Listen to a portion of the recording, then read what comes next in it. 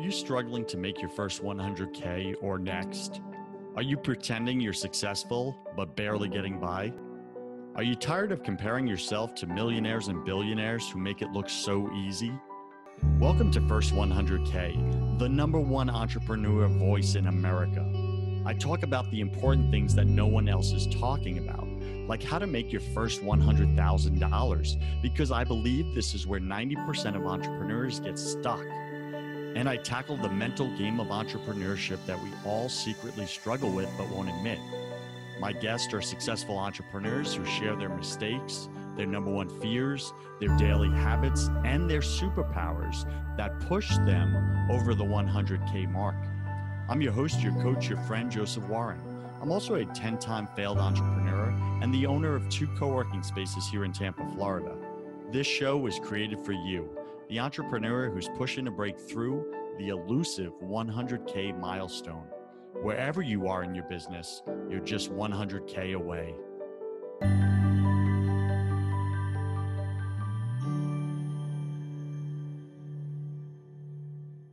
Today, my featured guest believes in entrepreneurs. At 19 years old, he built, then sold a biotech software company. At age 22, he was a venture capitalist helping raise 500,000 to $15 million. He now runs the biggest YouTube channel for entrepreneurs with over 2 million subscribers. He's wrote four books and speaks globally. He wants to solve the world's biggest problems. He's going to tell us more, more about that on today's show. He has set two world records, uses a trampoline and stand up desk, owns Canada's largest salsa dance studio, and has a giant Doritos bag in front of him all day long just to remind him that he's stronger than those darn Doritos. Toronto is his home. He's a husband, father, TSM fan, and Teemo Main. And Gary Vaynerchuk has this to say about him. He says he consumes so much content and then knows how to DJ it to inspire people. Ed Mylett says Napoleon Hill was the single greatest influencer of all time in personal development. My guest today is the modern day Napoleon Hill. Please welcome to your first 100K, Evan Carmichael. You can find him at evancarmichael.com. Evan, welcome to the show. Go ahead and fill in some of the gaps in that intro, would you? Appreciate the love, man. Thanks for having me. It's it's uh it's always humbling, you know. Um, what what else has been from that intro? I think it's pretty good. Uh, people usually know me either for the the books that I've got or the YouTube channel. I'm trying to solve the world's biggest problem, which I think is people don't believe themselves enough. I default to thinking everybody's got Michael Jordan level talent at something. Mm-hmm. You're the greatest in the world at something. Uh, it's probably not what you went to school for. It's probably not what your parents did, but something. And you have to go off and chase it down. And I think it's entrepreneurs who are going to solve all the world's major problems, and that's who I'm trying to help. That's awesome. How did you come to discover your Michael Jordan moment for your life? So I think your purpose comes from your pain. I think whatever you struggle the most with as a human, emotional pain, is the thing that then you want to help other people with and through because you got out of it. And there's lots of people who are currently struggling with what you used to struggle with. And so even even in looking at you know your show, you probably struggled in building your business, and now you want to help so much, help other people not struggle as much as you did.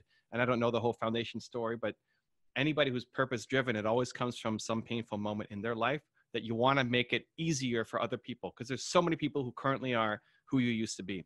So I struggled a lot as an entrepreneur. Um, I was making 300 bucks a month. The idea of making $100,000 in a year was would have been amazing to me. I was mm-hmm. nowhere close to that. Struggling made it harder on myself because I told my friends and family, well, more my friends, that that I had no money. Uh, sorry, that I that I was like hustling and living the entrepreneur life. Meanwhile, I was broke and couldn't afford 20 bucks, right? So if they wanted to go for pizza and beer, I just told them I was really busy and hustling hard. Meanwhile, like I really wanted to go, but I just couldn't afford it. And they would have spotted me and, and done something cheaper, but I was just too embarrassed and ashamed to to let them know that I wasn't doing well. Um, and so because of I've had so many you know trials and tribulations in building up my first business and how much I struggled, I want to help and give back to help other entrepreneurs not struggle as much as I did. And so that's what that's what I'm great at. That's what I love doing. That's awesome. How why do you think that 90% of entrepreneurs uh, are struggling to make their first 100k why is that like such this epic milestone now you're looking back on it at, at the time it seemed so foreign to you like you said looking back on it now it's probably a you know a nickel why do you think so many entrepreneurs are struggling there? Why why do we all struggle to get over that 100k milestone? I think one the starting point is people pick a business just because they're trying to make money. Mm. i think too many entrepreneurs just try to see an opportunity without actually loving the thing that they're doing and and then they end up not winning because you're going up against somebody who loves what they're doing.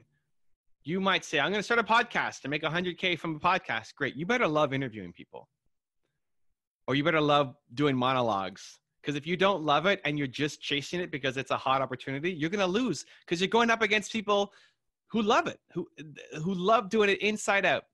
And so i think that is already a, a failure point for so many people. Do you actually love the business or are you just chasing an opportunity? Inside of doing what you love then is figuring out how do i combine what i love doing with what brings value to other people? And people haven't figured out how to take that thing that they love and make it useful to somebody else. Just because it's it's something you enjoy doing it doesn't mean someone's going to pay you for it. Mm-hmm. and so people struggle in the monetization part. Some people think money is everything. Some people think money is the root of all evil right? Where it's really the love of money is the root of all evil but people forget that first part and they think that money is the root of all evil. Uh, and so they don't learn to make money which is which is important. Like you have to make money if you're an entrepreneur. It just can't be your number one goal right money is important but your purpose and the reason for the business has to be something bigger than that most people don't figure that out I agree with you so much on that. All right, let's talk about both those things the money and the passion. Mm-hmm. Um, but most of my listeners are stopped in monetizing their passion, right? Mm-hmm. They just like you said. And by the way, that was me. I, I created that limiting belief as a young man that the that money was the root of all evil. I, mm-hmm. I took out the obsession or the love of, mm-hmm. um, and created that limiting belief. And then I would always get to a certain level, and then I would self sabotage and crash it all. Just an amazing thing. All right, so Startup Nation is looking to hear what are your top three tips or strategies, practical, tactical strategies they can implement in their business this year, regardless of their industry, to cross their 100K mark in 2020? What do you got for them? One, start talking to people who are struggling with the thing that you struggled with, where you think you can add value. Talk to them more. Talk to your customers more. Too many of us are just creating the vacuum. You think it's great. I did this too. I made this perfect business plan that I spent a whole summer working on, and then I took it to market and it's like, oh, nobody actually cares. But in my head, it was genius. Mm-hmm. So start talking to potential customers more, people who are struggling, people who could use your support in something, and go before pitching them anything, just asking them what they're struggling with, how they're struggling with it, and then trying to find a way to be able to provide value and help them. Two, look at your schedule and make sure that your actions map to your ambitions. Too many people in startup world and, and not even startup world, like even beyond it, but I get that that's your audience, is you're starting and you're stopping and you're starting and you're stopping. You have this amazing moment, you get inspired by something, and then you're on fire, and then the next day you're back to where you were before one of the biggest things that prevents entrepreneurial success is just a consistency in the momentum. On my YouTube channel, it's 11 years old now. It took me five years to get to 7,000 subscribers and then six years to get to 2 point whatever million. Now, wow. part of that was I was part of the same problem, right? I wasn't making consistent content. YouTube was also a slightly different beast 11 years ago than it is right now. But it was every day, grinding away, making videos, right? I've done 6,000 videos on my channel.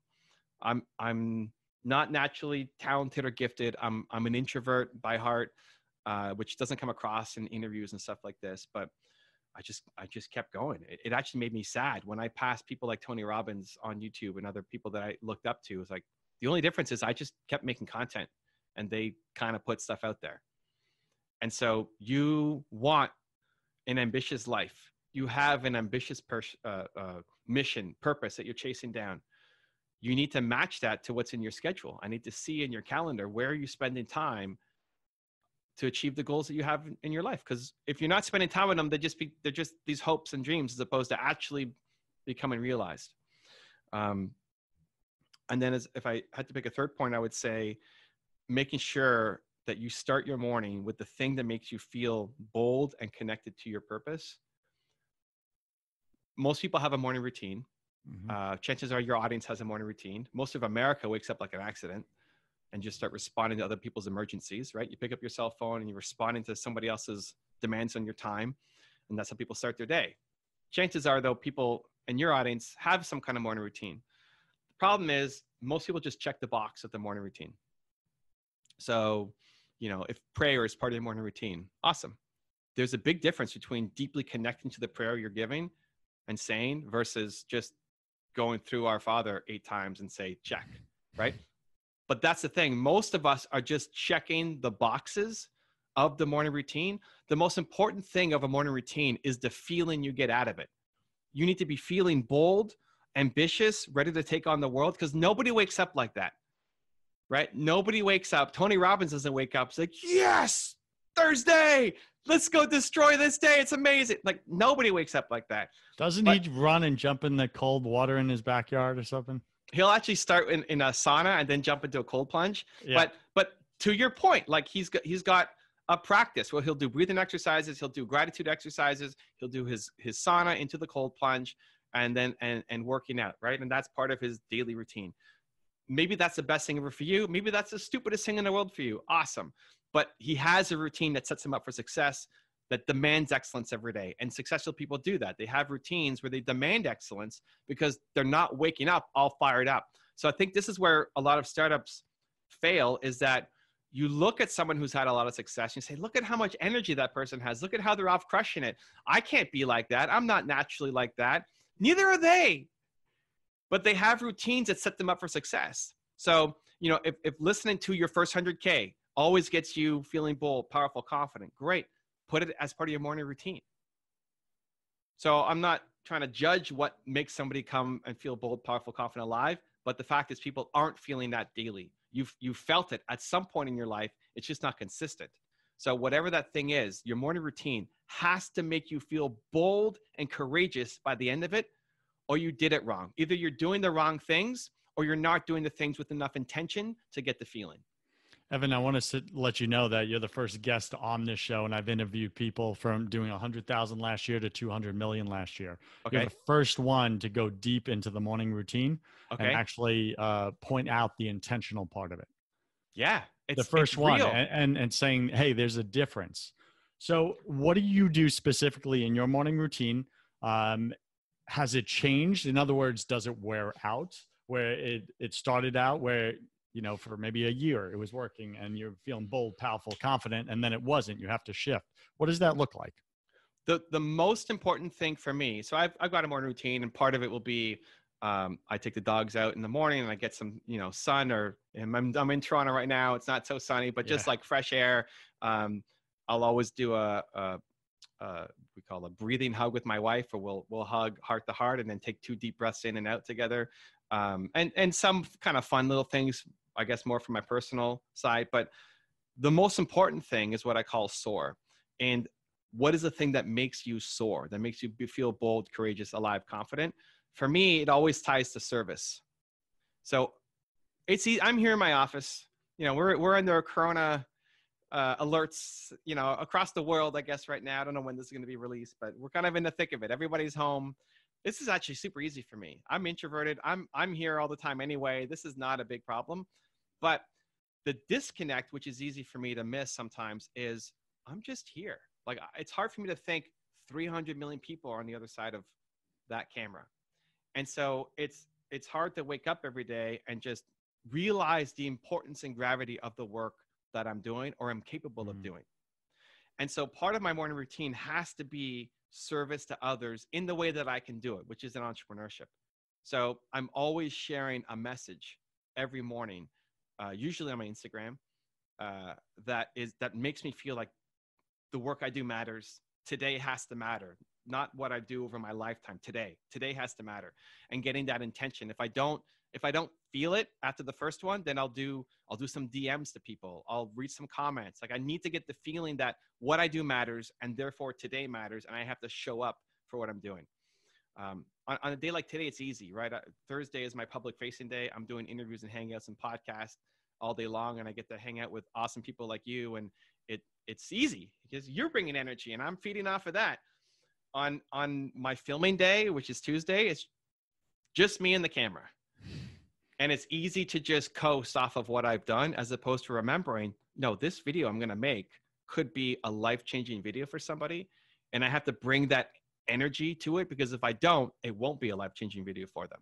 So do you just like say that to yourself out loud and all of a sudden like magically it just creates that feeling in you? Because I have done the videos and I tap out when I'm not having another human being on the other side of the camera or in front of me. Like how do you how do you push through that? Sometimes the voice in my head um that's usually a secondary step though. I usually I need to connect to people and see the results. So uh, I'll make an Instagram story and, it, and I know that's being reached, right? I'll look at some comments or, or I'll go to an old YouTube video that I put out yesterday or last week and I'll see, Evan, thank you so much for blah, blah, blah, blah, blah. It's like, it's hard to imagine 300 million people, but you can see Joseph. You can see the one. Yeah. And like, I, and I see yeah. the face.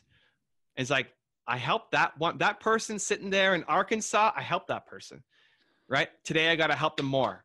And then I carry that energy into making the content. All right, I really get that. Thank you for going there. Now, what do you say to my listener who has seven followers, and they I, yeah. right, and they don't have that feedback? How do they it. get sort up? So when I started uh, in speaking, I used to have this big wave of whenever, and I mean, if you do speaking, you know, when you've after you come off stage, you feel amazing. You help them, you get the Q and A. You're sitting there for another Love two it. hours, help like it's amazing you wake up the next day, it's like, where did it all go? Where's like my next? Start over. I, it's brutal. So it what is. I used to do was um, I would take the feedback because I really felt it. It was heavy. Like I, would go three weeks between speaking gigs at the start, um, and so I would take the feedback that people would give me, and I actually threw it together into a PowerPoint file. that then I would watch it every morning. And I put like um, Michael Bolton, "Go the Distance" as the soundtrack. and then I would watch it and I would re- remind myself of, yeah, like I helped that person, right? Yeah, I am, I am capable of doing great things. Yeah, like today has to matter too. Um, that, so that's what I did pre YouTube, um, pre social media. This, this YouTube wasn't a thing, you right. know, 16 years ago.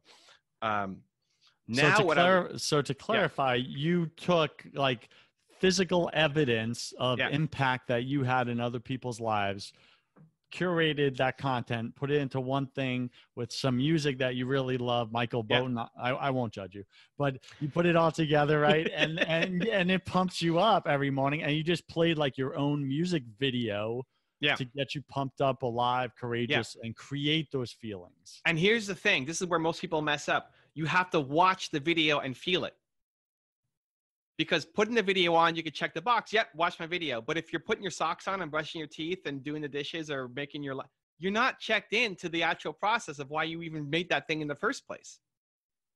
So if you're going to sit down for for three minutes or however long that song is, uh, or you pick another song, great, right? Like one of the things on my list now is I uh, we I celebrate. So I put on a song and every morning I celebrate because because music and movement is the fastest way to change your state. So it takes me from a place of being not not negative, but just kind of base energy, low energy. Like I just woke up, go to the mm-hmm. bathroom, mm-hmm. and then and then celebrate. And so I put on a song that I love. it's not Michael Bolton anymore, but something that's gonna make me dance. And then and then just try to dance, just try to have fun, like play with my dog and just shake and move, as opposed to trying to match it with something else I could I could easily dance and like be on my email and check like hmm what's coming up today and I could check off the box and say I danced but no I didn't I didn't mm-hmm. get the mm-hmm. feeling the intention matters and that's mm-hmm. what mm. most people are missing so what you can do if you only have 12 followers or whatever uh, thank them like I would I would this is how I grew my Instagram. When my wife was, you know, in Costco or whatever, I'd sit in the car and I do video messages one by one, thanking people. So I, I, make him, at, hey, Joseph, really appreciate the follow, man. Hope you're doing well. Wishing you an amazing Thursday. Believe, send, right? But in those like eight seconds is is the juice starts to come out. Joseph is following me. Like he, he's following me for a reason. And I just sent some love today. Like we're we're built to serve. It's why my book is called Built to Serve. You are built to serve. If you're not happy, it's because you're not serving.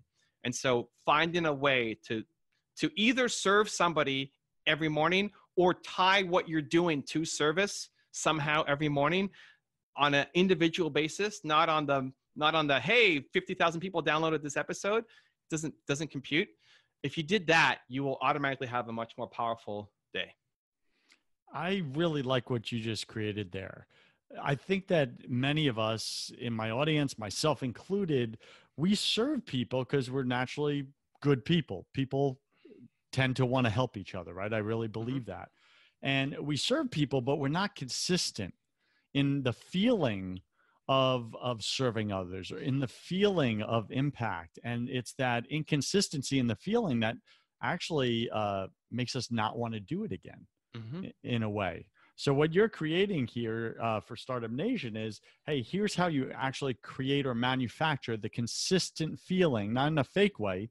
It's very real and very authentic, but you do it in a consistent way that always keeps you up and alive and courageous and feeling powerful, etc. Day Mhm. after day after day. So I'm gonna call it the your morning routine. You you bring the M and M's, okay, which is music and movement There you go. I like it. music and movement. All right. So that's Key Startup Nation. Uh, so put that together. Uh, it doesn't have to be Michael Bolton. Don't judge him. You know, he's in Canada. Just messing with you, Evan. all Um, good, man. But, but go pick your own. Maybe it's Michael Jackson. You know, maybe it's Beatles, Yeah. something like that that gets you fired up. Go find that music. And I just realized in my morning routine, I do a lot of quiet time with God and just getting centered and everything, but I don't have any music. Mm. Uh, so I'm lacking that movement and motion and everything. So I'm gonna apply that starting tomorrow. So thank you for that, Evan. Um, go ahead and tell us about the book Built to Serve. Why should Startup Nation go out immediately right now during coronavirus and read your Right. book? well, I, I know we're getting crunched on the time. Um, I, I honestly didn't come here to, to pitch anything. I just want to bring value to your audience. But but the idea of built to serve is you're built to serve. If you're not happy, it's because you're not serving. Serving is a human thing. It, it- serving others, it did functional MRIs on people's brains, and it hits the same part of your brain as having food and having sex, which are both pretty important things as well as as a human. Um, so it, it's hardwired into us. We want to serve. Some people want to serve the world, probably your audience, big mission, big vision, want to serve the world. Other people don't have a big mission, but but they still they're built to serve the 25 closest people to them. It still comes down to service. If you're not happy, it's because you're not serving others. So then, how do you serve? Most people settle for crumbs, uh, like buying the coffee for the person behind you in line or holding the door for somebody. It makes you feel good, but it's it's crumbs compared to what's actually your purpose. So I walk people through a, a three-step process of of who, why, how to figure out your purpose and then turn that into a business so that you can not just live your purpose on the evenings and weekends while having to have a job to support yourself, but to be able to make money doing it, hire a team to be able to help you do it and have a much bigger impact. So And where that's it in like 90 seconds. Yeah, that was good. That was good, buddy. Uh, where can Startup Nation go and get get your book, Built to Serve? Uh, Amazon, easiest spot. If you want an autograph copy, you can get it from my website, but Amazon's probably the easiest spot for most people.